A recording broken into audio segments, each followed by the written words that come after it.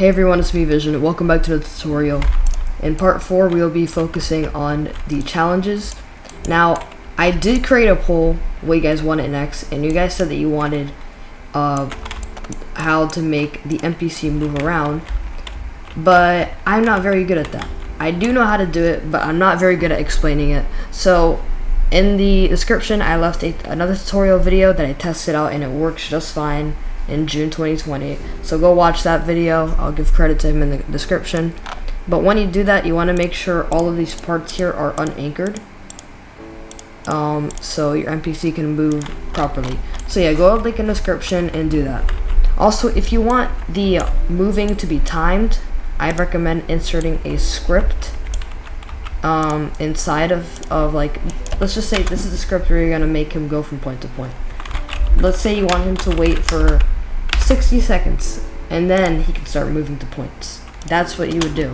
So if um, you're gonna do that, with the video will be in the description, you're gonna have to time it correctly um, inside the script. But anyways, today we will be focusing on challenges. So I already put in some seats in because I will be doing a sit challenge.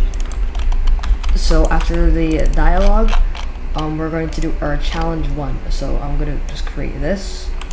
So I'm going to copy this and paste it in here. So local, and then we're going to make them say,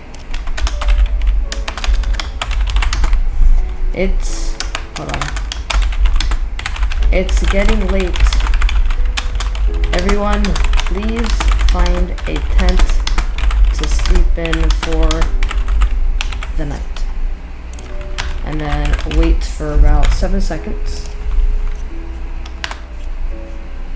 And we will do a timer event and we're gonna fire to all clients. And then we will do, hold on. Let me make sure I have this correctly. Okay, fire our clients, um, we'll give them 10 seconds. Then we'll wait for 10 seconds, and then after that, we'll do, um, I hope everyone chose wisely, I'll just say. I hope everyone chose wisely. Alright, so now if we want to make this work, we're going to have to add in some special parts up here in Challenge 1. Okay, so at top of challenge one, you wanna paste in this, link in description, I will have it. So this will be a check if players sit. So if they do not sit, then their health will go to zero and they will die. So make sure um, at the end you do check if players sit. If you do not have this, then even if the player doesn't sit, they will still be alive. So make sure 100% that you have this in because you like the player will still be alive if this doesn't happen.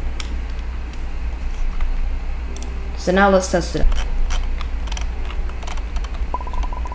hello everyone. Welcome to the circus. Wow this place is incredible.